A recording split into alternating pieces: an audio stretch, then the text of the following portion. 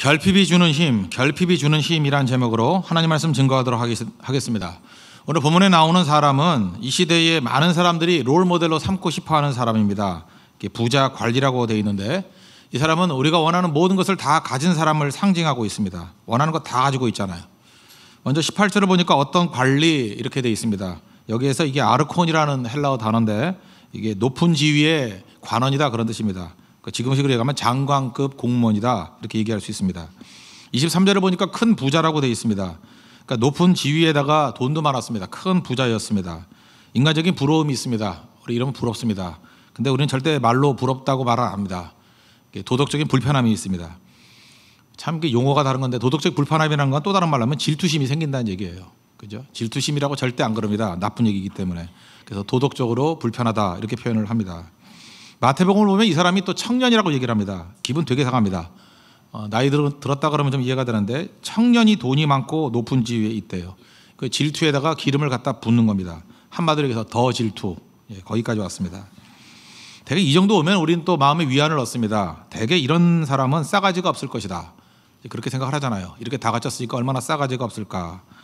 그런데 이 사람 그 마가복음 10장 17절을 보니까 예수님께 달려와서 꿇어 엎드렸다고 얘기를 합니다. 달려왔다. 열정이 있다라는 거예요. 사람 보면요. 걸음만 봐도 그 사람이 어떤 사람인지 금방 합니다. 어슬렁 어슬렁 걷는 사람이 있고요. 이유 없이 지각하는 사람들이 있고요.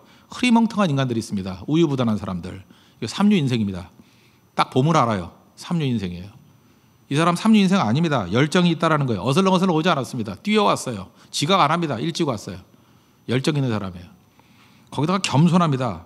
교만해야 약해지는데 또 거기다 겸손함까지 있어요. 예수님 앞에 납작 엎드렸습니다. 완전한 엄친합니다. 이런 남자 있으면 참 좋겠습니다. 그죠? 또 우리는 모여서 주로 얘기하는 게 무엇입니까? 아, 미스바나 이런 데 모여서 얘기하는 걸 보면 월급 얘기합니다. 얼마 받냐? 뭐 진급 얘기합니다. 언제 승진하냐? 여자들은 남자 얘기합니다. 뭐 누가 좋대? 뭐 물조거래가 하나 왔대. 뭐 맨날 이런 얘기를 합니다. 집 산 얘기, 전세 얻은 얘기. 그러니까 하다못해 딱 먹고 사는 문제 얘기합니다. 무엇을 먹을까? 무엇을 마실까? 무엇을 입을까? 근데 이 부자 관원은 영생에 대해서 관심이 있습니다. 수준이 다르죠. 요약하면 참 드문 사람입니다.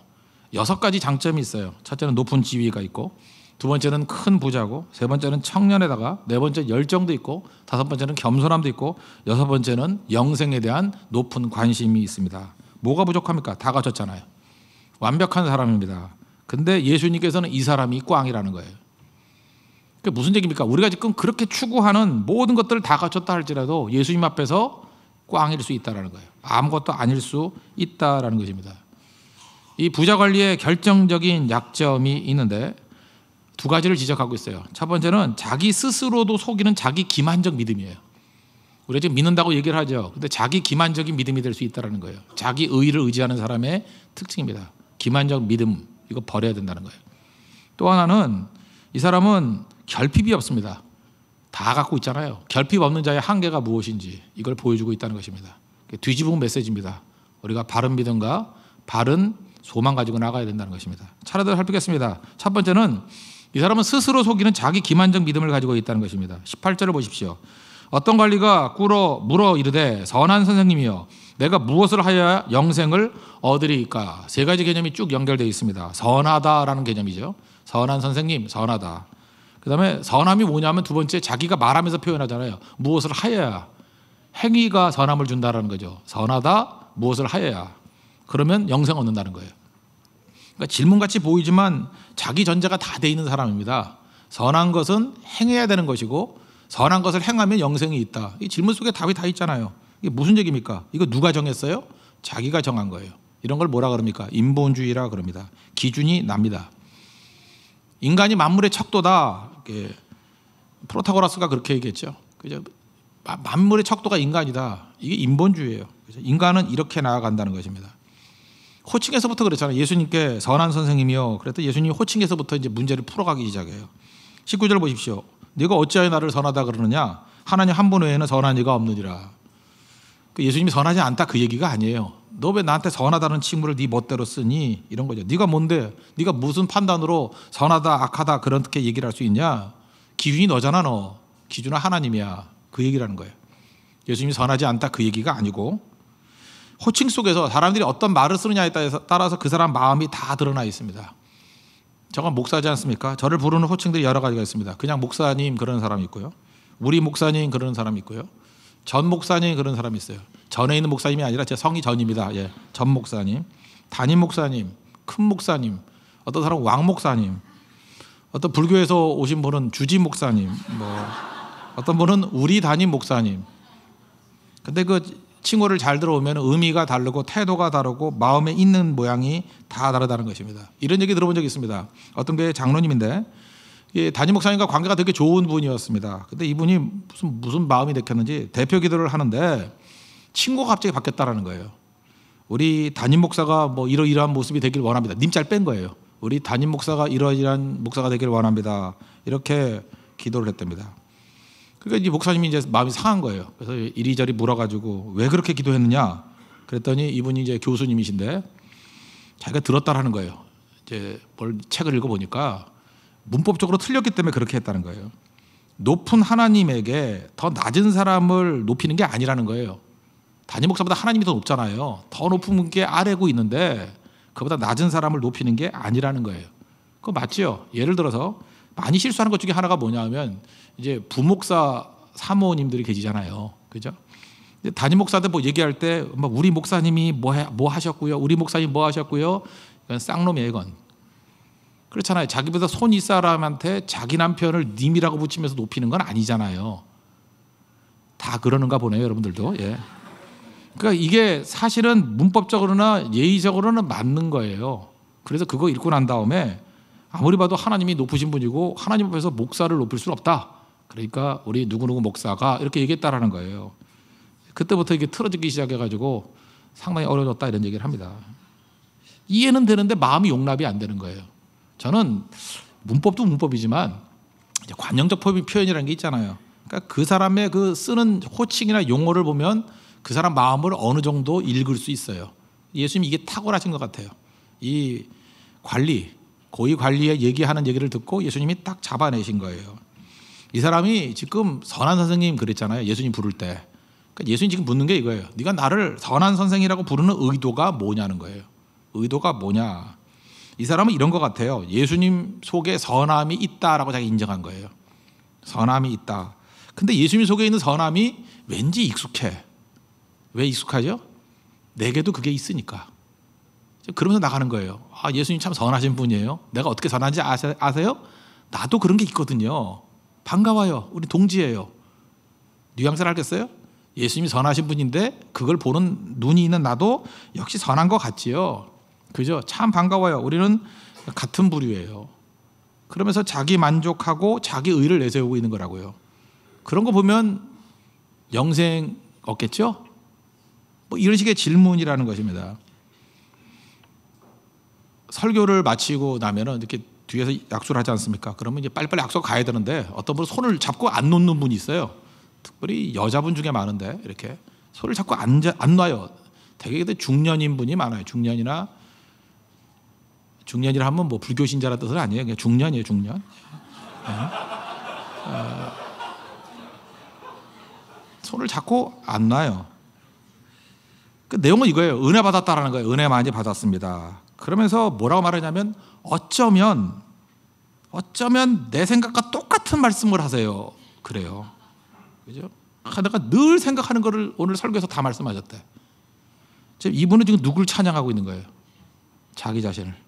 자기 자신을 자기 자신이 살아온 수준을 은근히 자랑하고 있는 거예요. 이거는 목사를 칭찬하는 것도 아니고 하나님을 드높이는 것도 아니고 자기를 찬양하고 있는 거예요. 그러니까 이런 사람의 특징이 뭐냐 하면은 골라 듣는 거예요. 교회 쇼핑하는 사람들 있죠. 뭐 쭉 들어보고 난 다음에 아 이게 맞아. 뭐요? 자기 속에 있는 생각을 지지해 주는 걸 찾고 있는 거예요. 이거를 디모데후서 4장 3절에서 말세의 특징으로 얘기를 하고 있는데 사람마다 귀가 가려워서 귀가 가려우면 귀를 파면 되는데 귀가 가려워서 자기의 사욕을 따를 스승을 많이 두고 그게 무슨 얘기예요? 자기 속에 있는 것들 그걸 이제 코드라고 합시다. 나는 코드 신앙이 제일 나쁘다고 생각하는데 사람마다 어떤 코드가 있어. 요즘은 코드를 보기가 너무 쉬워요. 뭐 페이스북 이런 거 보면 그 사람 코드가 다 나와. 아, 이 사람 이런 코드를 갖고 있구나. 근데 정말 꼴통은 뭐냐면 코드대로만 행동하는 거예요.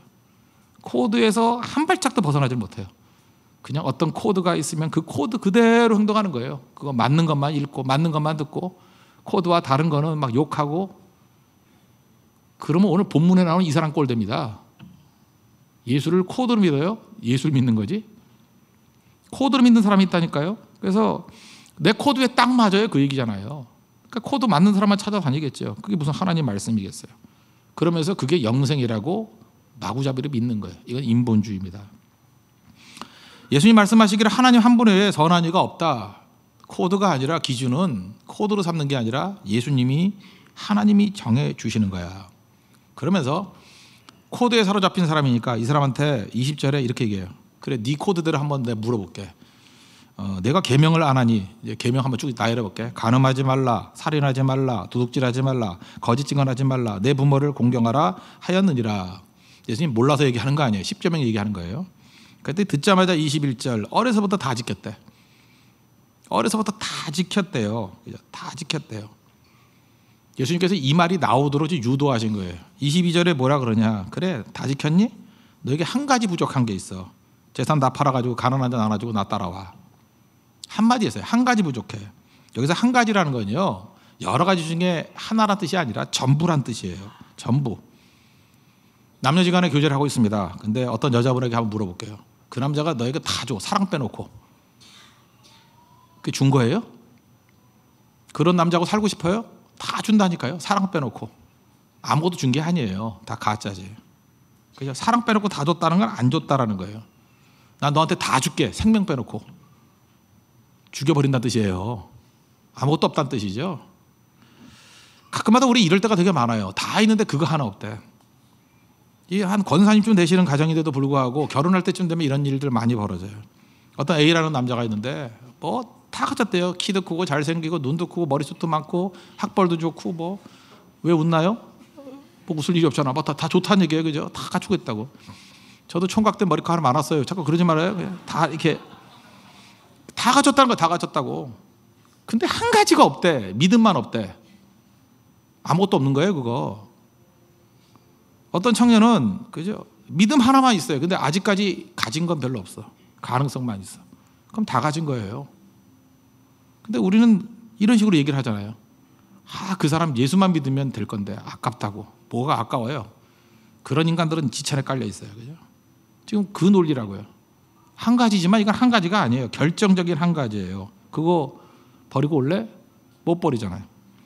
이 부자 청년은요, 하나님과 재물과 싸우고 있다고 생각하면 안 됩니다. 한번 생각을 해보세요. 지금 뭐 이건희 회장이나 이런 분도 지금 돈 많은 분인데 지금 사경을 헤매고 있잖아요. 여러분이 사기 말기 암 환자라고 생각해봐요. 돈이 많아요. 근데 무슨 뭐 치료약의 개발이 하나 됐다고 합시다 그냥 이 약만 먹으면 나요. 근데 네 전재산 다 줘야 돼. 그러면 자기 전재산을 주고 살래요? 죽을래요? 아마 살 사람이 더 많을걸요. 전세당 그러면 좀 아까울까요? 한 90%좀 바치고 10% 네가 가지라고. 그럼 하겠죠. 무슨 얘기인지 아시겠습니까? 우리는 만약에 말기암에서 낳는다 그러면 그 생명이잖아요. 그거하고 돈하고는 바꿔요. 근데 하나님하고 못 바꾼다는 얘기는 뭐냐 하면 하나님이 생명이라고 안 믿는 거예요. 하나님이 생명이라고 안 믿는 거라고. 입술로는 믿는다고 얘기를 해도 안 믿는 거예요. 생명하고 돈하고 뭐가 주, 중요해요? 뭐가 중한디? 뭐가 중한디? 곡성 안 봤어요? 뭐가 중한디? 뭐가 중요해요? 생명이 중하죠. 근데 우리가 끝없이 재물을 붙드는 이유는 뭐냐면 그 사람에게는 뭐가 중한디? 재물이에요. 하나님이 아니라 하나님 생명을 여기는 게 아니라고요. 그 얘기를 하고 있다는 것입니다. 그래서 시험은 시험이라는 것은 그 사람이 뭐가 중한디 이걸 보여주는 거예요. 겉으로 볼 땐 사울도 하나님 믿었고 다윗도 하나님 믿었어요. 사울왕도 하나님 믿고 다윗왕도 하나님 믿었어요. 골리앗 앞에 서 보니까 뭘 믿는지 나오죠. 사울은 안 믿었어요. 다윗은 믿었고 말할 때는 다 똑같았어요. 예배 드릴 때도 뭐 비슷했어요. 잘 구분이 안 가는데 문제와 부딪히니까 드러나잖아요. 다윗은 단순한 믿음이에요. 이런 거예요. 골리앗 앞에 섰을 때 이전의 경험을 얘기하잖아요. 사자와 곰, 곰이 양 보러 갈 때 하나님이 사자와 곰과 싸울 때 이기게 해 주셨어요. 그러니까 사자와 곰이 도덕적으로 나쁜 짓 한 거 아니죠. 그 본능이죠. 아, 배고프니까 약 먹으러 가는 거지. 그래서 자기는 지킨다고 지켰더니 하나님이 사자도 이기게 만드시고 곰도 이기게 만드셨어요. 별로 악하지도 않은데 누가 그렇게 하셨어요? 하나님이. 근데 이게 눈앞에 보이는 골리앗 저놈은 하나님을 모욕하고 있어.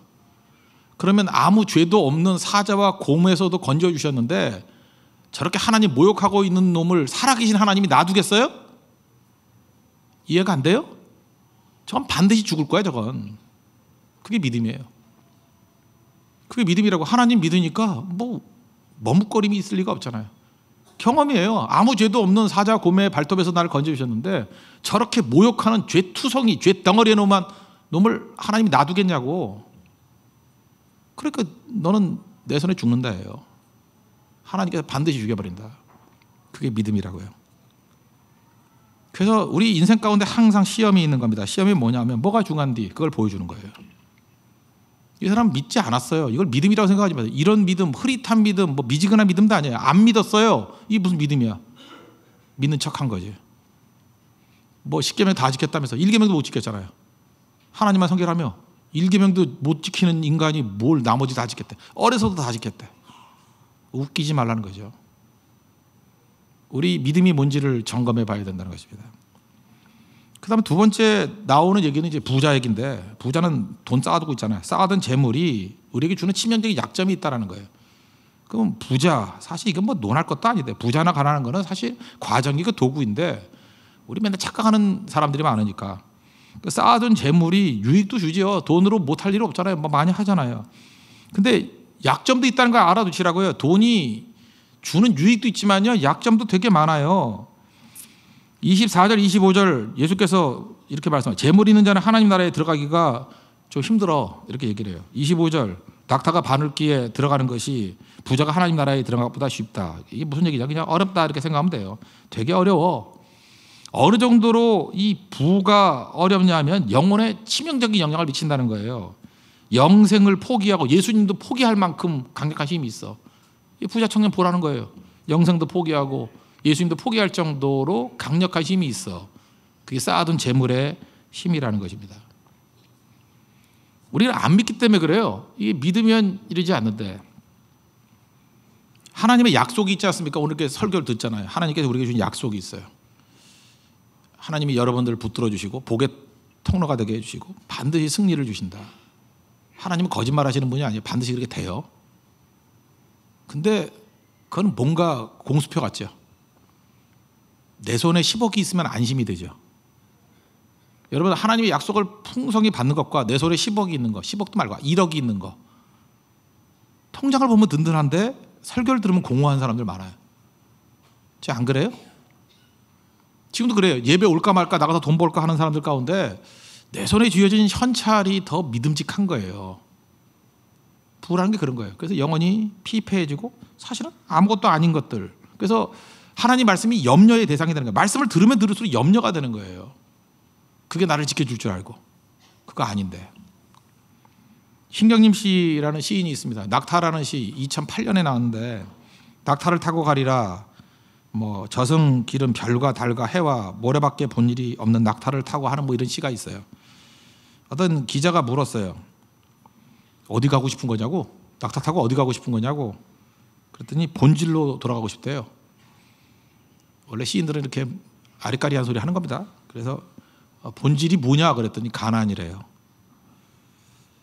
그 인생을 살아보니까 기름기 빠진 가난한 마음이 예수님 산상손의 말씀한 것 똑같은 거예요. 기름기 쫙 빠진 가난한 마음이 그게 본질이더라는 거예요. 그게 인생의 힘이더라는 거예요. 그래서 다 겪고 난 다음에 깨닫게 되는 건 뭐냐 하면 사실은 본질의 힘, 기름기 빠진 힘, 그게 진짜라는 것을 깨닫다라는 거예요. 우리 인생이 이렇게 힘들고 처참한 이유가 뭔지 아십니까? 가난을 미워하기 때문에 그래요. 가난을 두려워하기 때문에. 가난이 사실 그렇게 두려워할 내용이 아닌데 그럴 때가 되게 많이 있다는 것입니다. 일단 가난하면 가난을 또 다른 말은 결핍이잖아요. 이 결핍이 주는 힘이 있어요. 그게 바로 뭐냐면 민감성을 줘요. 쌓아두신 쌓아둔 재물은 우리 삶 속에서 민감성을 다 뺏어가 버려요. 사람이 민감성이 없어져요. 그래서 좀, 좀 가지고 있는 사람, 힘 있는 사람들 한번 보세요. 남에게 상처를 주고도 상처 주는지 몰라요. 말도 막 함부로 하고. 그러고도 그게 얼마나 문제가 되는지 몰라요. 실제로 여러분들 가장 크게 실수했을 때가 언제냐면 자신감 넘치는 사람이에요. 막 자신만만한 사람. 그 옆- 자신만만한 사람 옆에 가지 마세요. 그 죽을 가능성 아주 커요. 뭐 자신만만하게 칼 휘두르다가 막 날아가서 막 꽂히고 막 이래요. 그래. 자신만만한 사람만큼 무서운 게 없어요. 그참 이상해. 돈 있으면 사람들이 자신만만해져요. 그거 참 이상해. 돈 있으면 자신만만해져서 민감성이 하나도 없어요. 다 죽여요. 심지어 자녀들도 죽이고 부모의 마음도 갈기갈기 찢어놓고 그래요. 그리고 바보예요. 사이코패스예요. 다른 사람의 마음을 읽어낼 능력이 없어. 그 자리에 10명 있으면 10명 중에 9명은 다 알고 있어요. 지금 어, 상황이 어떻게 되는지. 근데 배부른 고놈만 몰라 분위기를. 민감성이 다 사라져버려요. 바보예요. 뭐딴 사람 얘기 말고 목사인 저도 제가 제일 민감했을 때가 언제냐면 가장 가난하고 가장 아프고 힘들 때 이 느껴지는 거예요. 그 보관이에요. 민감성이라는 게. 그래서 여러분들 잠깐만 부유해주고 그래서 민감성이 사라지면 성교도 가야 되고요. 고생도 해야 되고요. 금식도 해야 되고 그래서 언제까지 해야 되냐면 민감성이 살아날 때까지. 민감성이 능력이기 때문에 그래요. 또 한 가지 이 결핍이 주는 주의 쌓아둔 재물이 주지 못하는 게 뭐냐면 교육이 안 돼요. 결핍이 교육이에요. 교육의 핵심이 뭔지 알아요? 결핍이에요. 결핍. 결핍에서 교육을 받는 거예요. 지금 우리나라가 지금 뭐 4, 50대가 이렇게 능력 있게 나라를 세웠던 이유가 뭔지 알아요? 결핍 때문에 그래요. 결핍에서 교육을 다 받았기 때문에 그런다고. 지금 자라는 세대들에게 이 부모들이 정말 한심한 교육을 시켜서 그래요. 결핍이 뭔지를 가르쳐 주지 않으니까 교육이 되지 않는 거예요. 어렸을 때 장난감 싫어하는 어린애가 어디 있습니까? 장난감 보니까 다 갖고 싶지요. 장난감 사달라고 막 땡깡을 부리고 울어요. 막 울어요.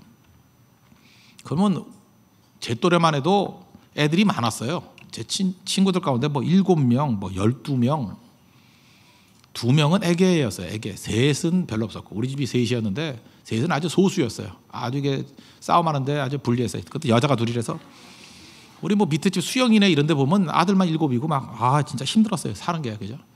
무지 많이 났어요.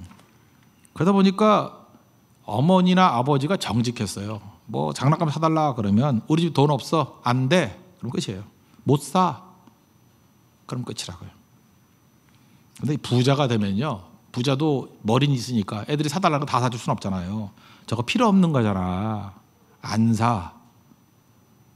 여러분들 못 사와 안 사의 차이점을 아십니까? 못 사는 건 없어서 못 사는 거예요. 안 사는 건 돈이 있는데도 안 사는 거예요. 설득력이 없어요. 애들도 알아요. 우리 아버지가 안 사주는 분이야. 그러면 더 매달리면 사줘요. 능력은 있으니까. 근데 능력이 없는 아버지 밑에 있는 애들은요. 아무리 졸라도 못 사는 분이거든요. 그래서 얼마 안 해요. 그걸로 끝나버려요. 그래서 그 다음부터는 세상에 믿을 놈 하나도 없구나 하면서 책임감이 생기고 절제가 생기고 그 다음에 자기가 노력할 줄 알아요. 일어설 줄 안다. 그게 교육이에요. 근데 지금 이 결핍이 없어 놓으니까 사람들이 맨날 매달리는 것만 하고 있어요. 그냥 please 하면 다 되는지 알아. 이거 뭐 카드 긁어놓고 난 다음에 나라가 갚아줄 줄 알아요. 전부 다그 꼴 만들어놨어요. 누구 때문에 그래요? 부모 때문에 그래요. 부모들이 묘한 죄책감이 있어요. 그죠? 애들이 제대로 애들이 사달라 그러는 걸 못 사주면 죄책감을 느껴요. 이 모자란 부모였기 때문에 그래요. 성경에 뭐냐 부모는요 자식들 앞에서 권위를 가져야 된다고 생각 얘기를 해요. 권위를 가져야 돼요. 권위 갖고 외쳐야 된다고요. 명할 줄 알아야 돼요. 자녀들에게. 그리고 부모에게 대드는 놈들은 성경에 보니까 돌로 쳐 죽이라 그랬어요. 그게 무슨 얘기인지 알아요? 부모의 권위만큼 중요한 건 없다라는 거예요. 권위를 스스로 내려놓으면 안 되는 거죠. 근데 이 부모들이 문제, 부모들 때문에 자식 다 망치는 거예요. 애들 앞에서 맨날 죄책감을 가지고 있어요. 내가 해준 게 없대. 해준 게 없다라는 건 부모가 하는 얘기가 아니에요. 그건 자녀들이 하는 얘기지. 옛날에 자녀들이 다 그랬어요. 나는 불효자라고 부모님께 해드린 게 없다고. 자녀들이 하는 얘기예요. 그거는. 근데 어디서 부모들이 그 듣고 와가지고 애들한테 앉혀놓고 내가 해준 게 없어? 놔준 것만 해도 해준 거죠. 먹여준 것만 해준 거죠. 뭘, 뭘 더 해줘요? 이렇게 생각하면 돼요. 어떤 꼬마의 집에 갔더니 장난감으로 한 방이 가득 차 있다. 그런 인물 안 돼요. 결핍이 뭔지 모르기 때문에. 혹시 그랬다 그러면 다 갖다 버리세요. 그리고 그놈에게 굶는 법부터 배워야 돼요. 밥을 안 먹어요? 3일만 굶겨봐. 어디 밥 없냐 그러고 떨어진 것도 주워 먹지. 결핍을 배워야 돼. 결핍. 결핍을 배우지 않으면 그건 자식 망치는 거예요. 아무것도 아니라는 것입니다. 아무것도 없는 데서 인물이 나와요. 인도에 있었던 사진인데 사진 전에 나왔던 사진 한번 보여주세요. 인도 엄마예요. 두 팔이 없어요. 두 팔이 없죠? 써 있기는 이 아이가 두 살이래요. 그러니까 한국 나이로 네 살이겠지. 네 살짜리 아이가 엄마를 먹여줘요. 엄마가 팔이 없으니까 이게 결핍의 힘이에요. 두 살짜리 애가 우리 한국 나이 네 살이에요. 예, 네 살짜리 애가 책임감이 있잖아요. 이 아이가 투정이 있겠어요? 투정 없어요. 이 아이가 뭐 매달리는 게 있겠어요? 그런 거 없어요. 어떻게 하면 내가 어머니를 먹여 살릴 것인가? 이 가정을 이렇게 세울 것인가? 그죠? 거기서 배우는 거예요. 여기서 인물이 나오는 거예요. 그래서 하나님께서 됐습니다. 하나님께서 그래서 여러분들을 어디로 보내시죠? 광야로 보내는 거예요. 광야는 결핍의 장소예요. 결핍의 장소에 가서 길을 만들라는 거예요. 사막 결핍의 장소예요. 거기서 강을 만들라. 그게 하나님께서 우리에게 주신 능력이라는 것입니다.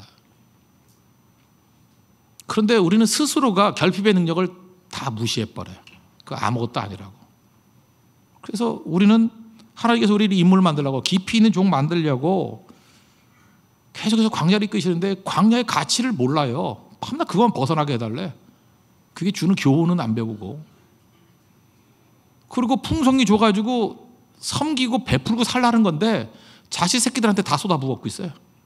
무슨 사교육비로 다 집어넣어버리고 무슨 쓸데없이 돼지 다는 놈들 유학 보낸다고 다 보내버리고 누가 돈을 그렇게 쓰래요?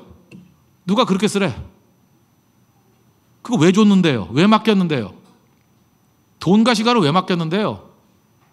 더 가치 있는 일, 주님의 사명을 위해서 쓰라는 도구인데 여러분들 일반 사회에서 그렇지 않아요? 공적인 자금을 줬더니 그걸 사적으로 쓰면 그거 안 걸려요?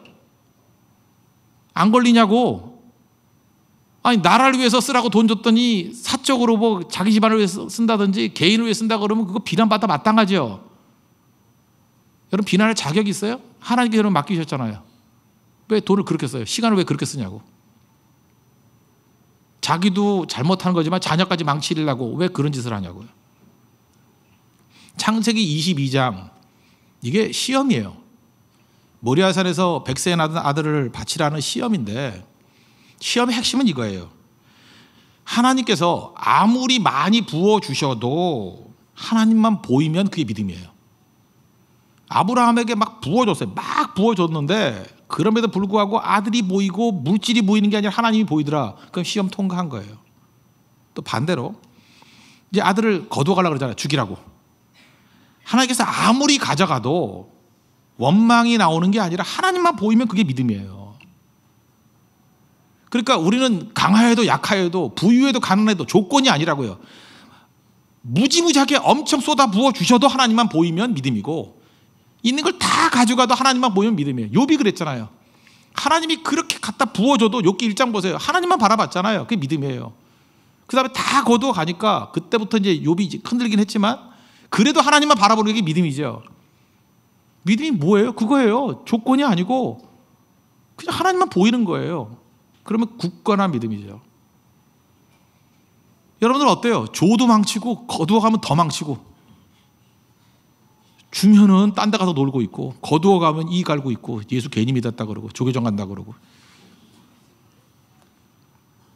믿음 아닙니다. 지금부터 여러분들 믿음의 테스트가 있어요. 하나님께서 여러분들 골리앗 앞에 서게 만드실 거고 무지 부어줄 때가 있고 무지 거두갈 때가 있어요. 모든 시선을 주께 드리고 그럼 끝나는 거예요. 주 예수보다도 귀한 것은 없네. 그럼 끝나는 거예요. 그게 믿음입니다. 그 믿음 가지고 승리하는 믿음의 종되기를 축원합니다. 기도하겠습니다.